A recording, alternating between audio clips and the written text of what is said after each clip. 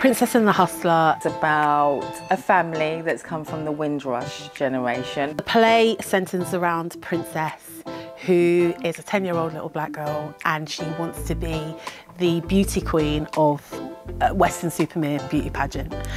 Throughout the play, we see how that dream becomes eroded with all the challenges that she's experiencing within her family. A family whose father has walked out on them and he comes back on Christmas Day takes place against the backdrop of the Bristol bus boycott, which occurred in 1963 as a result of the bus company's refusal to employ black and Asian workers as conductors on their crews.